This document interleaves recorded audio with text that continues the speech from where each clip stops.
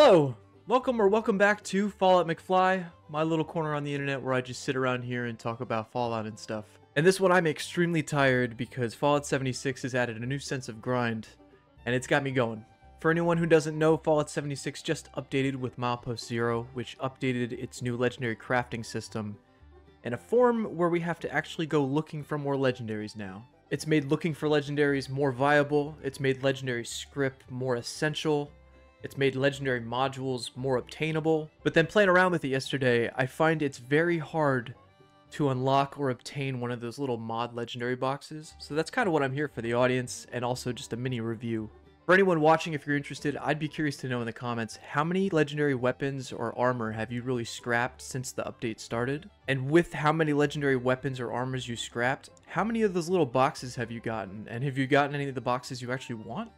Also, maybe as an added bonus, did you get those legendaries from crafting them or did you find them out in the wild? It's I'm just very curious if it's easier to get one of those boxes from something you find out on a legendary enemy or if even you have less chance of getting one of those boxes if you scrap a legendary weapon that you crafted. I'm just very curious. But so far into the honeymoon phase, I'm having a lot of fun with it. I like that I actually have to go looking for legendary weapons more than I already did. But this is just an intro for what we're going to see coming up in the video, which is just a segment from one of the streams. Leading up to the legendary crafting update, I thought I was just going to be crafting named legendary weapons because I figured that'd be the easier way, you know, faster essentially. And then I settled with the Unstoppable Monster because I figured I'm going to want Bloodied, I'm going to want the 40% power attack damage, I do a lot of melee builds. And then from playing around with the system, I don't know if they're going to nerf this in some way. Maybe we're not going to be able to craft these weapons so easily in the future. Because it did seem a little too easy. But maybe not for the output of boxes. Because by the end of it, I only got two boxes.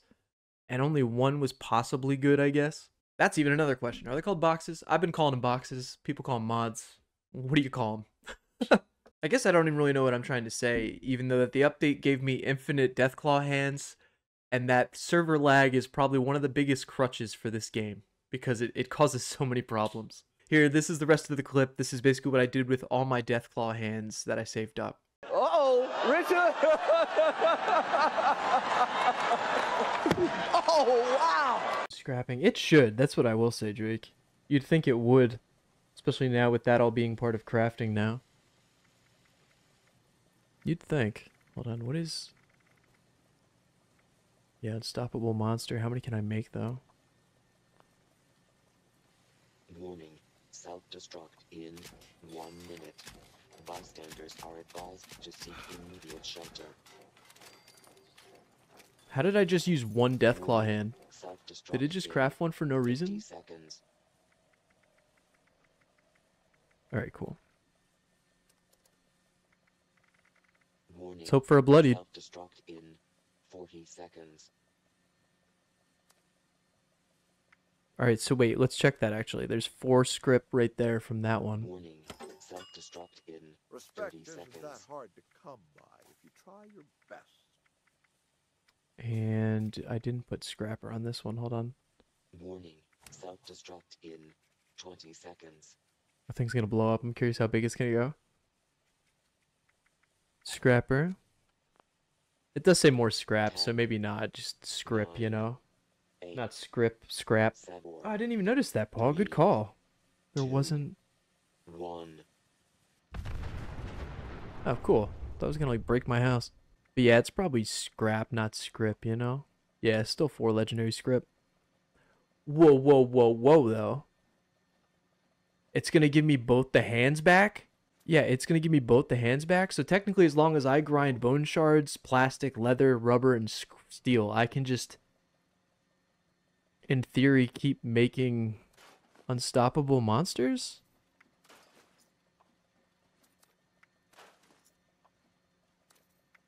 Is that how we're gonna look at it? Is it gonna tell me in the top left if I get a node? Hey, oh, I got defender.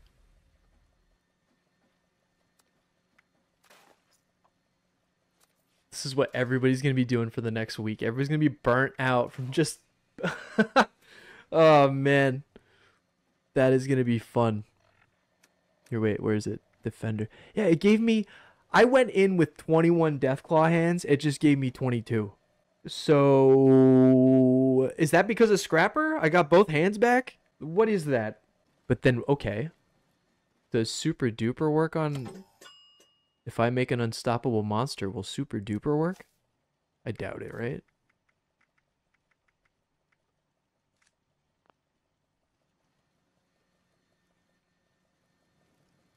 But essentially, is this like the best way for me to try and get a bloodied? Because I have plenty of like bone, I have plenty of the material. Look at that, the least amount I have is a thousand adhesive, which I could do grinding for. But yeah, I guess that's what it'll cost. It'll cost the legendary modules, but that's pretty... I mean, for Fallout first players, watch me just drain this adhesive right now, right?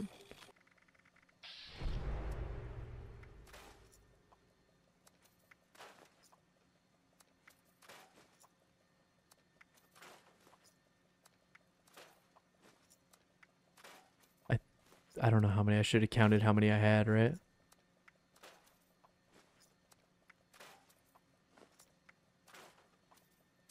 That drop rate though, right? They weren't kidding. When you get that bloody node, you're gonna want to sell it.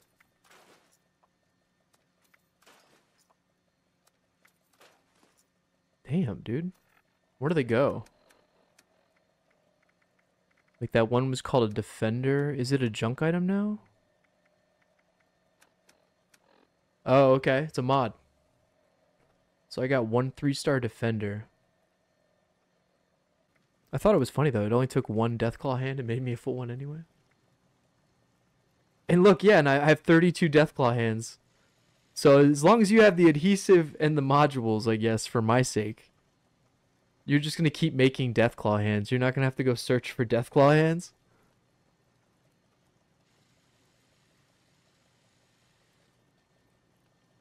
Oh, you can actually get the plan too? I didn't know that was part of it. So let's just keep on spending. I'm down to waste it for the stream. Let's go. Gives me a reason to grind adhesive. Give me more purpose. I like it.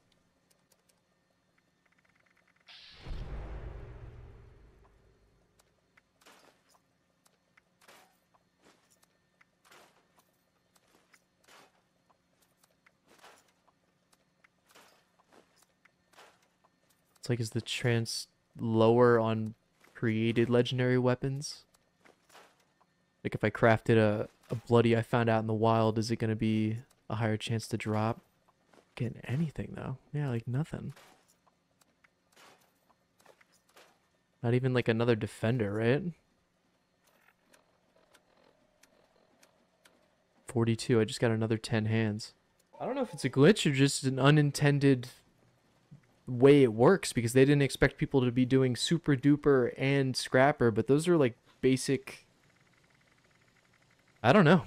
But then also, like I said, that might be a glitch because I had 21 originally and it took one Deathclaw hand and still made the unstoppable monster. But we're almost done here with modules in this sec, so. Oh, it feels good to burn all that scrap, man. That's what I could have done in the, the weeks leading up. I wasn't really on my uh, my legendary module game, you know. Look, and yeah, you just keep. Un- I just made more unstoppable monsters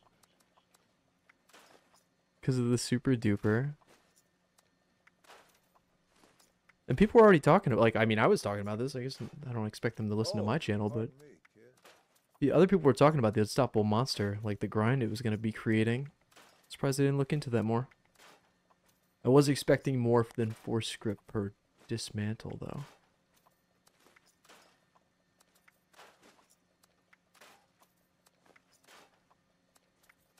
But yeah, you don't really have to go looking for Deathclaw hands once you have some.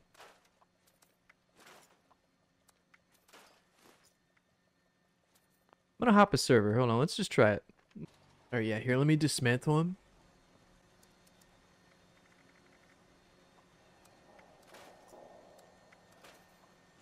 And then I'll drop some on the floor and see if it uh does it again. It also could have been like the lag because I was spamming. So maybe it just took the one and it was like, alright, alright.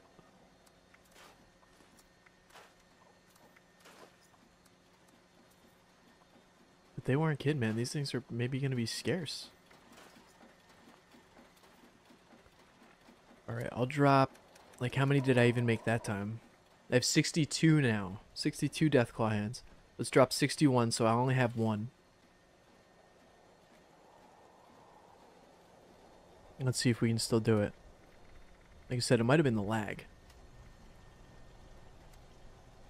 Yeah, it doesn't let me in.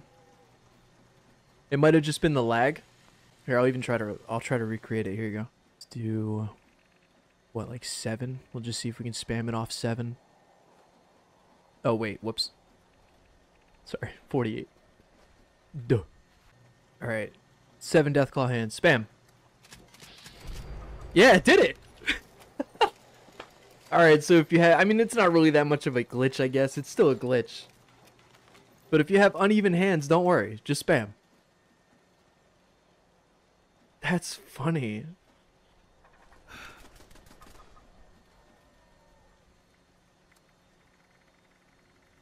Yeah, the server lag will just take it for you. I think I just got a third too. Hold on. And the super duper works. Man, this will be the way to do it, I'll tell you what, if they don't fix it. Yeah, and I made three. Look at this. I picked them up. I only had enough modules to craft two, but because of the spam, I got an extra... oh, wait, no, the super duper. Okay, never mind. No, the super duper did activate. But that is pretty cool still. You don't need even hands, and you can always get an extra one out of it. If you want to, like, you know, really cheat the system, like, when you start to do it, like, unloading like that. Yeah, make sure you're uneven, so then you'll actually gain a Deathclaw hand out of it, especially when you, uh, dismantle. But now I ended up with way more Deathclaw hands than I... Holy crap. Bone and... Oh, that's also a good way to get bone and leather. Hello? Anybody home? Hey, think McFly, think.